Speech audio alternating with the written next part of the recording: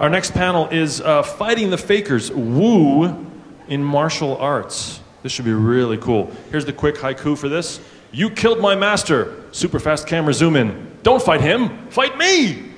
Uh, please welcome your moderator, one of my favorite storytellers, John Rennie. Thank you. Thank you very much. It's, it's a pleasure to get to be here at TAM with all of you once again. I, I know what many of you are thinking. Yes, I am amazingly lifelike. Thank you. That's, um, anyway, we are so glad, uh, all of us who have been involved in putting this together, to have this, this sort of panel together today to be able to talk about the subject of Woo in martial arts. Um, and I think you may recognize a number of these faces. Starting over there at the end is somebody who's certainly an old friend of TAM, and I like to think of him as an old friend of mine too. Evan Bernstein. He's, uh, of course, one of the co-hosts of the Skeptic's Guide to the Universe radio show and podcast, and he's a chair of the Connecticut chapter of the New England Skeptical Society. Um, he and his wife and his daughter are all Krav Maga practitioners, so don't try to mug any of them. Um, sitting next to him is Dave Jones. Now, Dave Jones is the host of the podcast, which is the most fun to say in the entire universe, the Hiya podcast, uh, which looks uh, skeptically and critically at the world of martial arts in, all sorts of different ways. He's also a very experienced martial arts practitioner. Um, he started off in uh, Okinawan karate and a lot of other systems, though these days he, he mostly focuses on the Chinese styles of Bagua and Xingyi. Um, next to him, now, if in the course of this uh, presentation or, or in the rest of this weekend, if I say something that antagonizes you or irritates you, you can take it up with our next panelist. Um, he's Reed Kuhn. He, uh, or, or, sorry, next to him is, is uh, Brent Weedman. So rarely confused uh, in this instance. But uh, Brent Weedman, um, now he is a professional uh, mixed martial arts fighter since uh, 2005. He competes as a welterweight, uh, welterweight on the uh, Bellator Fighting Championship circuit. Um, you've got a record of like 22 and 8 something. The, the, here's the key point he's beaten up more people today than most of us will in the entire rest of our lives. So, you know, it, it's, it's just great having him here. He is a very active member of the skeptical community, and he's just a great voice for outreach to the mainstream community about our, our, our interests. And next to him is uh, somebody else who's really a pleasure to get to know him in the course of, of the, this pr- presentation. Uh, Reed Kuhn, he's a research fellow with Fight Metric. He writes the Fight Science feature. Why would you want to fight science? Perfectly good fight. Um, uh, he writes the Fight Science feature for Fight Magazine, and you can find a lot of other things that he writes at, at uh, fightnomics.com. He is the author of the upcoming book, Fightnomics The Hidden Numbers and Science of Mixed Martial Arts, which just sounds amazingly awesome. So, really, getting down to the, the subject of things here, I guess the, the, obvious place to start is why, why this? Why mixed martial arts here at TAM? Um, well, you know, for a lot of people, even ones who don't study the martial arts, the martial arts can be a sort of gateway drug for introducing people to a lot of pseudoscientific or mystical ideas or for reinforcing ones that they already have. Now, the term martial arts encompasses a lot of, uh, of different sorts of, of diverse practices, and, and the experiences of people in and out of those practices are diverse. So it's not surprising it can evoke a lot of different reactions, and it can mean a lot of things to different people too. Martial arts can be impressive, uh, they can be terrifying, they can be entertaining, they can seem ridiculous. Um, on the one hand, there's this tremendous amount of history and empirical learning uh, that's gone on through all the, centuries and thousands of years of, of, of fighting experience. But there are also a lot of ideas intertwined with martial arts practice that are very far from scientific and, or even in some cases, very far from effective in terms of, of fighting for uh, defense or offense or for fitness or whatever else uh, drives people to become involved uh, with the martial arts. And uh, since not all of these ideas, by the way, are you know ancient ones uh, rooted in, in old ideas of, of outdated mythologies. Um, there's a lot of modern pseudoscience and unsupported beliefs and superstition and outright fakery and scamming, all the things that we're referring to here just as woo, that, that'll have completely modern origins that also find their way into the martial arts. So we're going to try to talk about all of this uh, today uh, with this with this great panel, and uh, they'll uh, they'll have a lot of good suggestions to offer people about how they can engage with the martial arts constructively and happily and still manage to maintain some sort of integrity uh, with respect to their, to their skepticism that way. So, um, guys, let me, I guess, I guess a good place to start with all of this is a lot of the, the old roots of, of the ideas of, about uh, mysticism in the martial arts is, it seems to be rooted in the idea of chi or ki. Um, Dave, you've got a lot of you know, deep background in the subject of, of, martial arts, uh, of, of, of Chinese martial arts.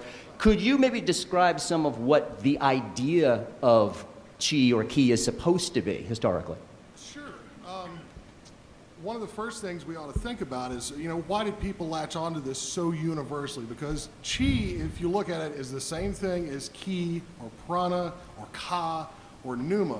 So, you know, if you're, if you're thinking about uh, human society before we had modern science, which is the vast bulk of uh, human history, people didn't know that the brain was the center of consciousness. But people didn't know that blood circulated.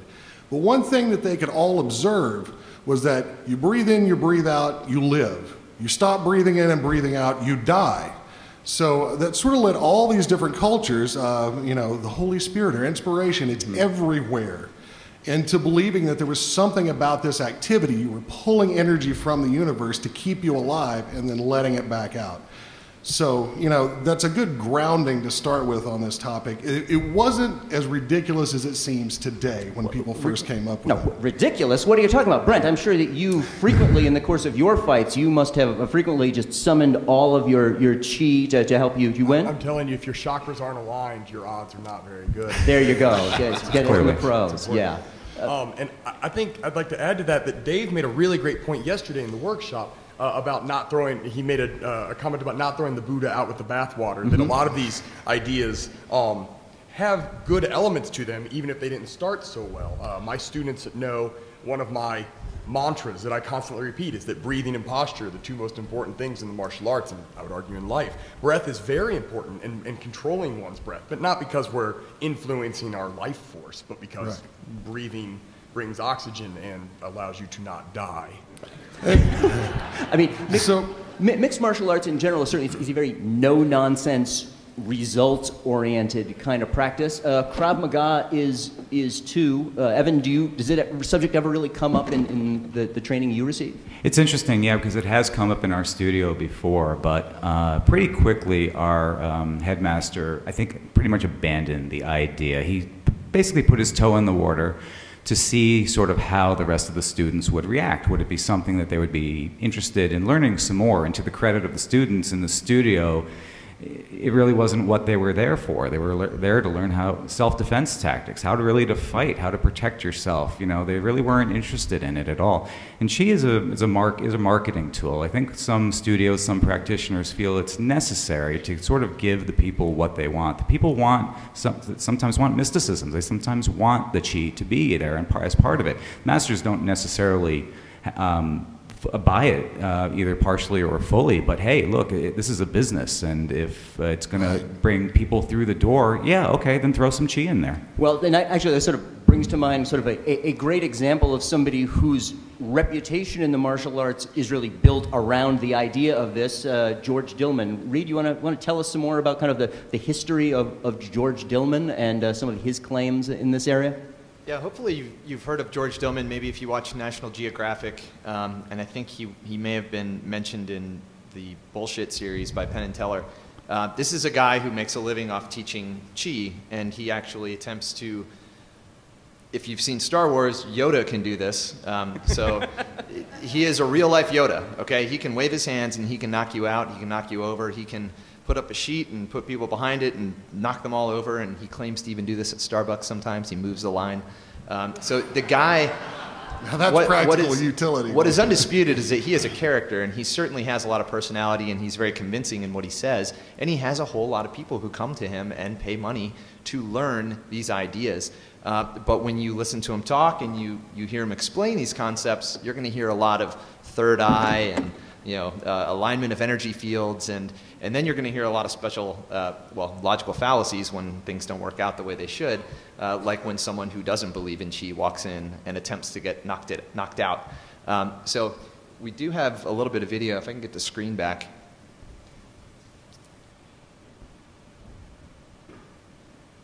Bear with me. We are doing this. While we're doing that, you know, the slide we you're all looking fix at now with uh, that's Guru Zhang, uh, and he was a very famous Chinese practitioner around the turn of the last century. Mm-hmm. Hugely influential, a very good practitioner, but he was one of the people that realized that the showmanship of qi techniques was like something that could help move uh, And it's what some into your studio. practitioners of the martial arts claim is the basis of their power. Harnessing this energy apparently allows them to break bricks with their hands and even their heads. Chi, it flows throughout the body. That's Without George it, you there, don't right? function. and it's a radio wave. Science can't find chi. It doesn't. It doesn't exist as far as science can Yay, tell. Joe Nickell. But George just said it was a radio wave. Without a doubt, George Dillman is a force to be reckoned with. He's a ninth degree black belt who has taught everyone from Muhammad Ali to Bruce Lee. And he's able to drop just about anyone using applications of pressure to certain points along the body. Now, in this case, he is actually making contact, so that's a little different. But if we skip ahead, we should see some some real no-touch use of the Force. I mean, this is Jedi, real Jedi Knight right and here. they were expected to react in a specific way. And they just reacted to the suggestion. When this happens in, in hypnotism demonstrations on stage by This a is the voice of a skeptical doesn't scientist use that you're hypnosis hearing. at all. He just gives suggestions, and people who is ready to believe that kind of things react. But critiquing a tape and standing up to a karate master are completely different matters. It's time for a showdown. In one corner, weighing in at no more than 125 pounds, is chemist Luigi Garlaschelli. He thinks he can stand up to a knockout punch of chi because it doesn't exist. That's a pretty good reason, to be fair. Yeah. In the other corner, it's eighth degree black belt Leon Jay, one of George Dillman's top associates and fellow practitioner of the no touch knockout. This ought to be interesting.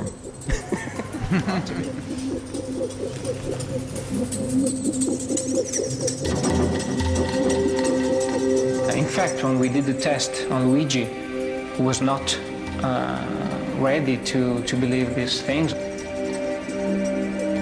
Or maybe was just staying there, seeing what would happen. Not ready to believe in it? Not ready to believe, so even the practitioner himself knows that this is more about belief than It didn't work. anything real.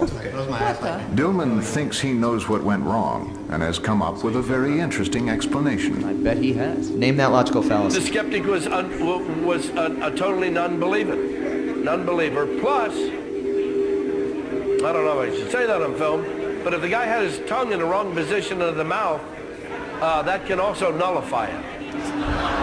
Yeah, you can nullify it. You can nullify a lot of things done to you. In fact, you can nullify them if you raise those two big toes. If I say I'm going to knock you out, and you raise one toe and push one toe down, can't knock you out. And then if I go to try again, you reverse it. So the If big toe is kryptonite, this, is what we're hearing. I won't knock you out.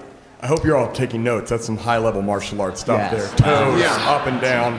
Brent, are you going to use going to use that in your I next probably match? shouldn't say this on film, but I do. I use this in all of the fights that I didn't Mm-hmm. lose. I mean, the, the, the- that's why your feet have to stay flat on the ground at all Yeah, yeah. I got. I'd get choked out and wake up and go, the toes. I forgot the toes. no, I mean, I mean, this is what we saw here. You know, it's it's easy to laugh, um, but the consequences of this sort It's of it's easy to beat too. yeah, I mean, the consequences of this kind of thing are, are sometimes not always funny when people actually have taken this kind of belief a little too seriously and have tried to to test the awesome power of, of the chi. Yeah, David, maybe you can introduce the idea of the, the kick-ass miracle while I cue up the next video. Okay, so uh, some of you may have seen the show Mind Body Kick Ass Moves, and uh, it was a fellow named uh, Chris Crudelli that traveled around and saw all these, you know, famous traditional masters, and while uh, you know there was a lot of fighting in there, there was also a lot of uh, gesticulation and, and chi manipulation in these. But the the biggest one, the most famous one, is uh, where a practitioner gears himself up to show how he can. It's basically what we would call an iron shirt or a golden bell kind of qigong, where you make your skin impervious to blades. And uh, he shows off his specially sharpened machete just for the occasion, cuts a couple of saplings down with it, and this fellow is convinced that he can do this. And uh, he, uh, he gears up and he makes his attempt, and I think the video speaks louder for the results than I can. if you're squeamish, you might want to look away. Don't spoil it. Yeah, spoiler alert. Oh, now they know what happens. Come on. In Manila, there's a 15 meter tall statue of the 16th century. Sword. Yeah. All right. But Uh, for- skip ahead. He's talking about the knife. Oh, So instead of. What Red says he'll show me is his version of the Filipino warrior ritual, which will switch a person into fighting mode. But what I'm most keen on seeing is proof that the ritual will protect him from the hacks of his own razor sharp machete. Now, if you watch him use his I blade, feel a it's bit obvious he sceptical about is a Red's skilled claims for the martial ritual. artist. Aside from But all on watching his movements, I'm Yeah. slowly won over. They're balanced and powerful. Each sequence, he says, is about channeling the power of the four elements earth, air, fire, and water. Clearly. He's going to do this for a little bit because he's got to get charged up. He's got to align himself. He's got to harness all that power. Ritual is so very important to the perpetuation of a super- superstition. The thing is, even if this were real, it takes so much buildup, like the Dillman thing, like this, that you would be knocked out by the guy that just swung a punch before it ever got to that point. No practicality. It's like spoon Next, bending. If you can do it with your mind in 15 minutes, you can do it with your hands in a protective second. Hold on, let's- let's not fight yet. I gotta light my candles. and Exactly. There are no candles inside the octagon, by the way. No. I asked, they're not allowed. Here he goes.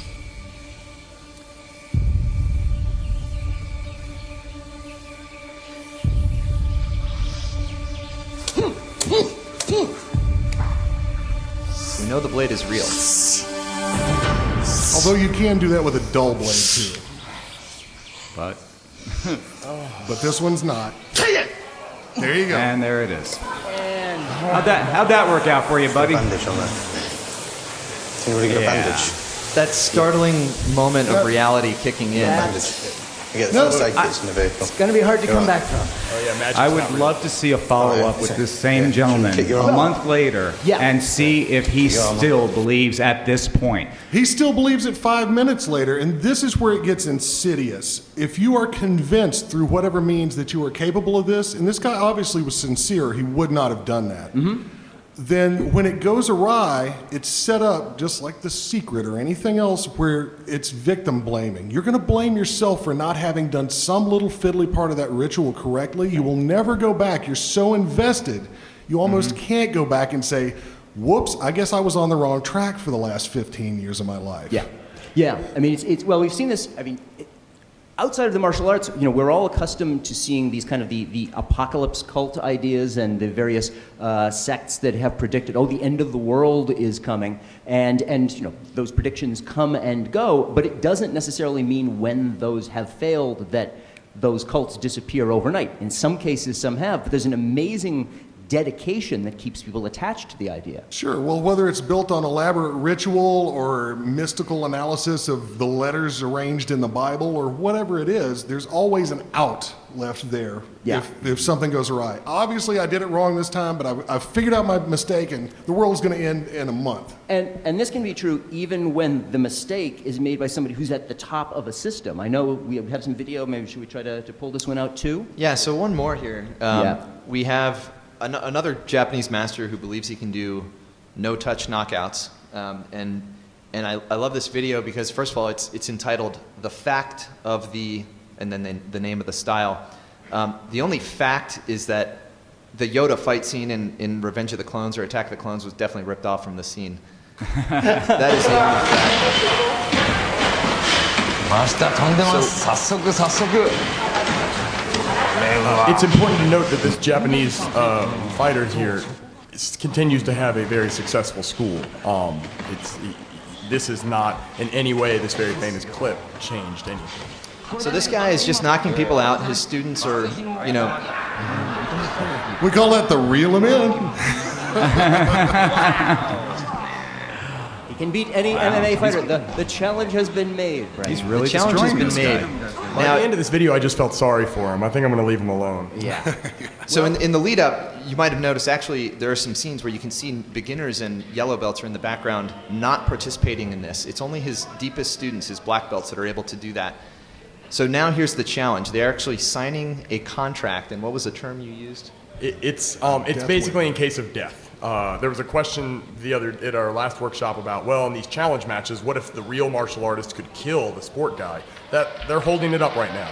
He just signed the waiver that says if you disrupt my chi and I die, uh, I can't, you know, like my family can't sue Can't you or whatever it liable. is. No liability. So. So this is this is a, an, an all-out balls to the wall fight that we should be seeing here.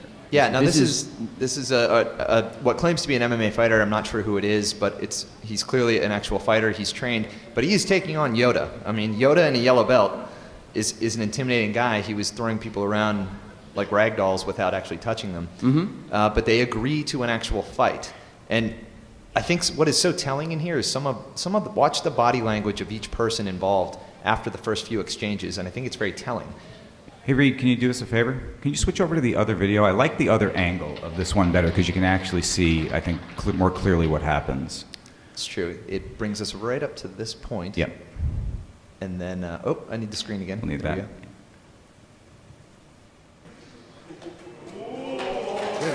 Yep. So they've just signed the contract. This is a, a better angle, actually. Might even be able to hear some of the uh, contact. Here we go.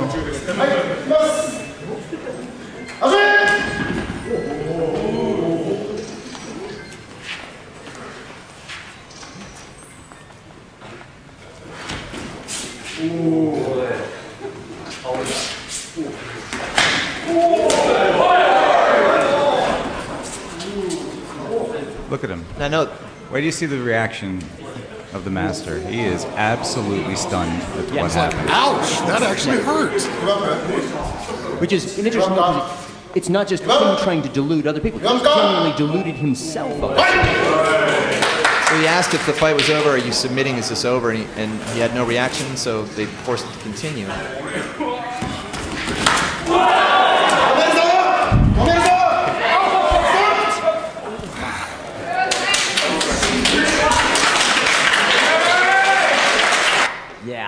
Yeah. So, I mean, and again, I mean, it comes back, uh, sadly, a, a, an awful, brutal example of the real difference between a kind of a scientific and a pseudo-scientific worldview. In a scientific worldview, because science is all about testing your hypotheses and actively trying to disprove them, if if what you're, if your starting suppositions lead you to predictions that turn out wrong, you you, you reject those starting suppositions. But here, with this sort of more cult-like behavior, it's really all about constantly just staying within the cult. And if the outcome comes out different from what's expected, it just means there were special circumstances that somehow applied. Sure, and that it's the same danger, you know, in philosophy versus science. If, if Massimo Pigliucci has taught me anything from listening to his podcast, it's that uh, all sorts of things are logically possible.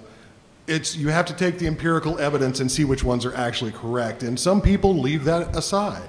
But, but so what do we really understand, though, about, like, I mean, again, we can sit here, we can sort of, you know, scratch our heads at, at how can people possibly be sucked into this, and how can the people who are the masters of this, the teachers of this, how can they be sucked into it? What do we know about what feeds into this, this kind of system of belief? Uh, there's a lot of mechanisms at work, and we can we can almost throw them into the cage one at a time. But um, think about first of all the power of suggestion, which was mentioned in the first video. Then think about the school. I mean, you had a, a very tight in group with a very clear, iconic, literally a master um, who had a lot of power over that group, and so conforming to what you thought you were supposed to do is very important in that in that kind of arrangement. So there there's a lot of almost cultish behavior that, that you're witnessing. And whenever you have, I think, a, a school that operates that way, maybe that's fundamentally a, a risk it's, sign. it's not just almost, it's textbook. You know, you create an environment that people want to belong to because they admire some aspect of it or they feel loved or welcomed by it. Mm-hmm. And they will do, whether consciously or subconsciously, whatever it takes to belong in that environment.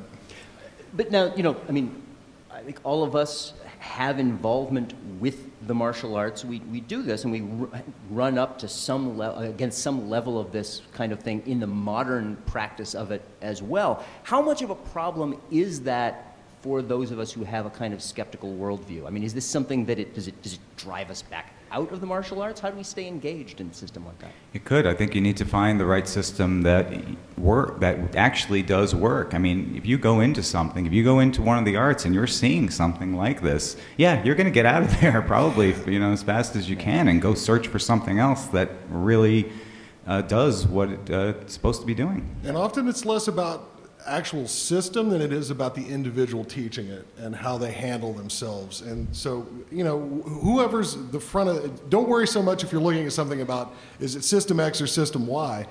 First off, make sure that the person that's teaching it is someone that you, you know, even if they don't share your exact same beliefs, that you can get along with and they're not going to drive you away with this kind of cultish behavior.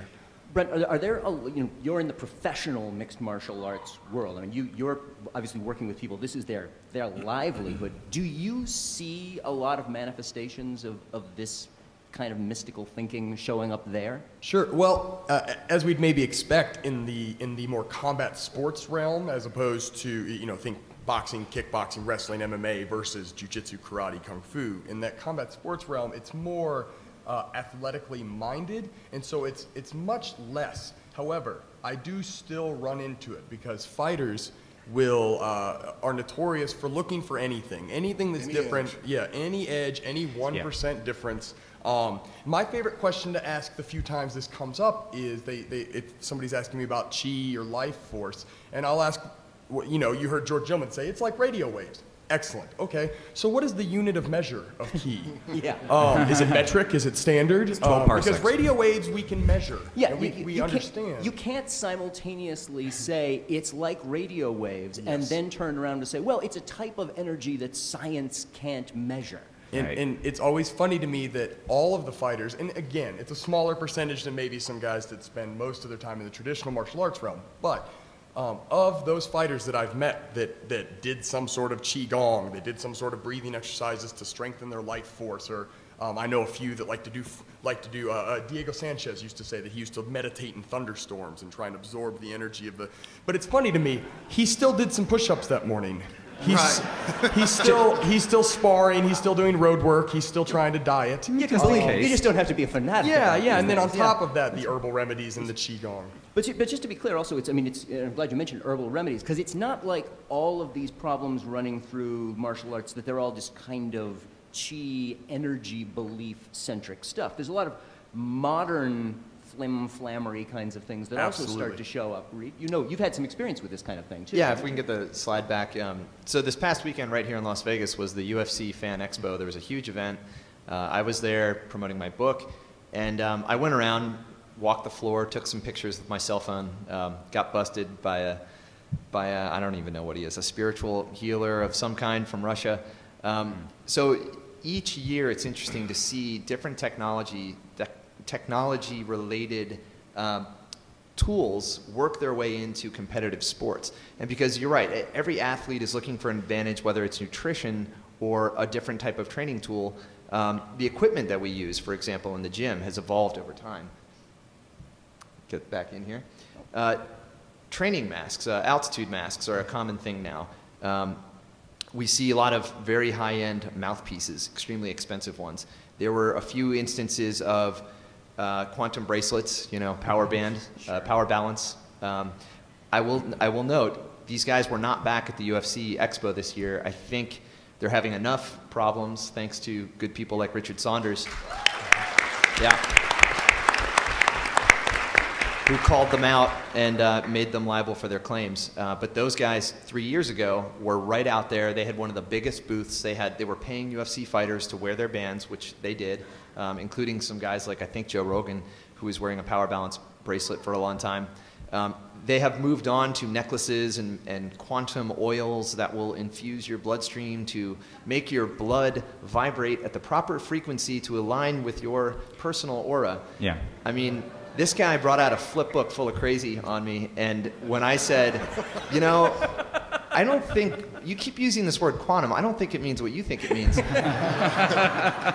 he said, "Well, what are you, some sort of physicist?" Uh, well, actually, I, I do have a degree in physics, and that's when the book closed. He said, "Okay, thanks for stopping by. See you later." For one that comes to mind is uh, it, it was very popular. It was very trendy for a little bit, and uh, and it was funny because it actually had to be addressed with the athletic commission. Was compressed oxygen, little cans of like maybe you would spray to clean off your keyboard, and fighters would be sucking on these between rounds. And the idea, of course, we've all heard of like oxygen bars and oh, super oxygenate your blood, and they're doing it between rounds. Well, what was funny to me about this, um, not funny, interesting, but funny, haha, was that um, it all of these, any sort of nutritional supplementation, anything like this has to be cleared to the commission. So they had to go to a governmental commission and, and to the doctors that were employed therein and say, is this okay? Can we do this?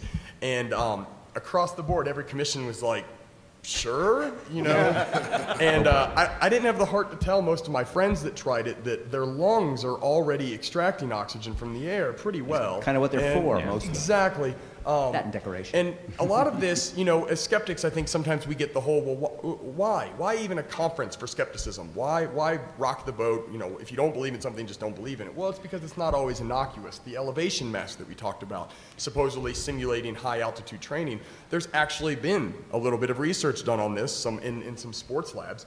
And what they found was not only did it not increase endurance, not only did it not oxygenate the blood or red blood cell count or any of these things that they claim, it actually put most users in a state of metabolic acidosis, and um, which is not good uh, if you've never good. been there. No, it's um, and and so it was actually damaging to their bodies. But of course, anecdotally, you know, if you're training and you can't breathe, which is essentially what it does, and then you fight and you can breathe, well, what's you know, somebody pro- uh, proposed to think or uh, predisposed to thinking this is going to say, well, it worked, and then they tell their buddy, hey, this worked for me, and then they read about it online and say, hey, that worked for me. And, I mean, that, that issue of like, well, what, what works for you? I mean, I guess maybe in the interest of also making it clear that it's, it's not as though the martial arts is exclusively or maybe singularly a hotbed of, of loony thinking about this. In a lot of ways, the attachment to these kinds of things, the, what's going to give me that special edge, this is really all kind of just part of the, the general thing that we see throughout sports of people's attachment, superstitious or otherwise, to you know what's going to help me stay on my hot streak or whatever else. People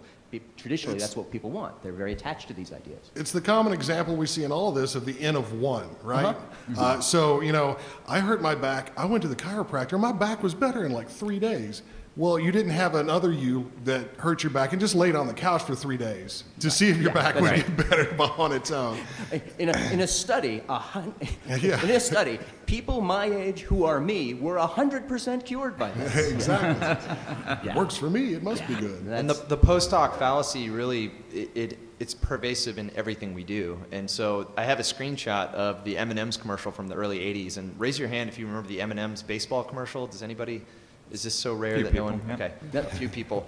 Basically, it's a 30 second M&M commercial and the one kid asks the other, your batting average is so great, what's your secret? He says, M&M's. The blue, you know, the green ones I hit a triple, the yellow ones I hit a home run, and then this kid, his turn comes up, he says, quick, you know, give me one of them. Well, here, here's a triple, go for it. And then in the background, they're showing M&Ms, and everybody's happy, and you hear the, the click of the ball and applause. What are we teaching our children? Okay, so performance enhancing, you know, something. You know, every every every person's performance relies on some external secret, and that's what you should be shooting for. And it you know it comes in pill form. And Mark McGwire must have had a lot of M and M's that season. Yeah, the green ones set the record. steroids in them. yeah. But it's post hoc fallacy. I mean, we, we, we do well, and so it's interesting that batters are superstitious because they fail a lot. And that's entirely predictable within science. So even when it comes to superstition, it actually follows very predictable patterns that are based on science. When we, we are loss, we have loss aversion. We, we don't like to lose things. And when we experience randomness and we experience a lot of failure, we start to get superstitious. And that's why batters are superstitious Fielders are not. Fielders rarely drop the ball. They, we actually count how many times they do it. We call it an error. Now, in, in batting, you, you fail seven times out of 10, you're actually considered an all star. So when you fail that, that much, it's easy to see streaks and, and shooters, the myth of the hot hand. And it was a behavioral economist, economic guy that uh, Daniel Kahneman, I believe, that actually did the study on that. Um, it's so predictable, and, and yet science explains it, and yet starting at a very young age, we fall into these traps of it must be something else. I'm hot. I'm not. I'm. I didn't take my M&Ms. I'm not wearing my lucky socks. And some of the stories of superstition in sports are just amazing. You know, But- there's flies are lucky. That's why I don't wash my, my socks. But so, so superstition aside, I mean, you're, you're involved in looking at the actual metrics of, of fighting. So when we bring a, like a more scientific, quantitative, objective view to this, what, what do we actually find out matters? What is the kind of thing that, say, in, you know, in Brent's experience, that actually wins fights? Yeah, I like, I like to use the analogy that um, video may have killed the radio star, but in some ways, MMA killed some of that big screen Hollywood kung fu magic. Uh, and because MMA was, you know, the rubber meets the road, it was originally invented as a science experiment. Okay, who would win, a boxer or a wrestler? Let's put them in a cage and, and see who wins. And it was so simple, it was elegant, but it was also primitive. And I think that's what appeals to me about the sport. It's, it's very real, um, but it's still a competition. We've, we've eliminated a lot of like the real risky rules. Um, but th- the reality is, is that when you have two highly trained people, basic metrics do matter. Sometimes, you know, uh, having the longer reach when you're otherwise equal, the same age, the same size, the same weight class, can be a small advantage. It, it manifests itself in, in measurable ways, uh, such as the southpaw advantage has a small but measurable advantage. And certain metrics, it's, it's not that left-handers are better, it's just that right-handers are not used to facing left-handers. We call that a selection frequency dependence. So these are in, consistent with what we'd expect from science, and, and we can run these experiments and see how they pan out. Now, I've also run the analysis of are Aries and Taurus people born under those astrology signs, did they tend to be great fighters? Because, of course, an astrologer would have you believe that, and they would tell you that a Pisces is a peace loving person. Now, if you graph it, it's, pr- it's pretty close. I think I actually have that graph. There's no real advantage if you're of, of a certain astrology sign. Um, so have what matters in a fight. You know, youth is important. Being older, having had prior concussions is a huge problem. So As, a, you- as an old, short guy who's had a lot of head injuries, I'm not liking the evidence. Are you right-handed? That's a clean sweep. yeah, I got that going. That's too bad. Uh, so here's, here's uh, the UFC win rate by zodiac sign. The, the dotted line is at 50%. What you see is that it's, it just bounces around as we would expect. It's, it's somewhat random. The sample size is not huge, so it's, it's roughly like that. Now, what's interesting is that the, the highest blip on the page is actually Pisces. So Yes! this peace-loving, pacifistic Thank you. Good night. We'll see. has a slightly higher win rate. Now, obviously, chalk that up to randomness, um, but it, it was interesting to put that to the test and to see there are there's a bunch of things that I can predict that matter, and I'm pretty good at predicting outcomes. Astro- you know, the birthday, other than the year, is not important. And I think that. Oh, I'm sorry. No, no, go ahead. I- I think that uh, I, take it upon myself as a as a professional athlete, albeit you know a smaller level one. But a lot of this stuff starts so young because younger athletes, younger martial artists look to older athletes and older martial artists. And a, a, a huge reason, for example, with my uh, my involvement with the JREF, is to try and give back a little bit. I know a lot of fighters my age that are that are telling the young fighters about their, their underwear that they haven't washed in a while, or their special diet, or their special, you know, wh- whatever flim flam it is. Um, and so I think it's important for those of us. I know other fighters who agree with me on this, other skeptical fighters. Um, but I think it's important for us to uh, to reiterate, especially to younger athletes, that uh, yeah, I actually do have a superstition. If I didn't train as absolutely hard as I could leading up to that fight, I just don't feel right. Um, and so that we kind of have to nip that in the bud. And I feel like athletes have a responsibility to that because at a certain level, even if you've deluded yourself into believing that the dirty socks are helping, when once you hit a professional level, you understand, you know inherently that it was batting practice, not not your clothing choice, for example, that that affects these things. I mean, because we do unfortunately need to start to, to wrap things up pretty quickly at this point, actually, it would be good to talk about again about what all of us really, uh, particularly those of us who are engaged with, with the martial arts in some way, what can we try to do to maybe quietly start to try to do things to strip away some of the, the pseudoscience and the superstition away from, from what we're doing? Um, are, are there things, Evan? What, what occurs to you on this? Oh, definitely. I mean, it's, uh, it's everything that we learn here at TAM, conferences like TAM and everything we read online, you know, our entire community. You just put these tools to work. Skepticism is a tool. You can filter anything, any aspect of your life through it. Martial arts is certainly no exception to that. Use your logical fallacies. Use what you know to make your determinations and to figure out what works and what doesn't work. Yeah. Well, and I think you, know, you, you made a point earlier too. It's like I mean, this is one of those things. of you, you as the person going out purchasing martial arts instruction, you can you can vote with your dollars that way. Absolutely. Your decisions about Absolutely. you know how you want to engage with these people or whether you want to engage with, with certain people that that way. Suppose what about me? If you know if I am if I've gotten involved with a system and I'm already, you know, I'm invested in it and I like the system and I believe in a lot of it, and then somewhere, some well into it, some of these uh, starts of ideas start to surface a little bit more. Uh, a lot of, especially traditional martial arts, is very respect oriented. It does not generally encourage you walking up to your master and saying, You got that all wrong, master. Um, so, I mean, is there a better way to engage internally with that? Yeah, well, I mean, one of the things you have to remember is, um, you know, your teacher is your teacher, but your practice is your own. So if you're happy with everything else, but then they have this little frill of woo woo on the side, you're perfectly within your rights to ignore it. if they're trying to force you to do it as part of the curriculum, that's where the problem is. Um, you know, and I, there, it's it's like if you like traditional martial arts and that's what inspires you to go out and practice, and you like what it does for you.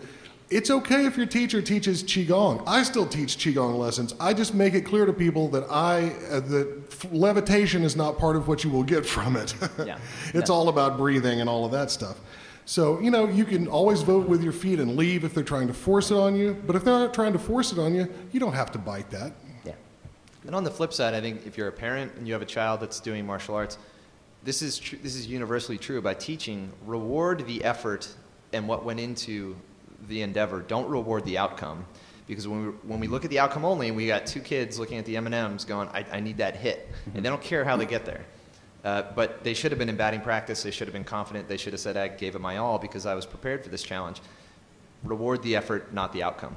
Something that's really unique about martial arts um, and, and that i- is very dear to me is that it because it's different from your job for m- most of us or uh, or you know your family life it, it's sort of a third place. It's not your work it's not it's not your home it's this other thing that you do. And it appeals to a large number of people. And so it brings together a lot of people. I share the mats regularly with uh, with extremely religious folks with creationists with people that believe in chi that people you know I, I I interact with these people, and this is a great opportunity for us as skeptics to, uh, you know, sort of gather more flies with honey. Um, it doesn't do me much good as an instructor to, you know, toss a guy to the ground and choke him into submission and then stand over him and scream, "Where's your God now?"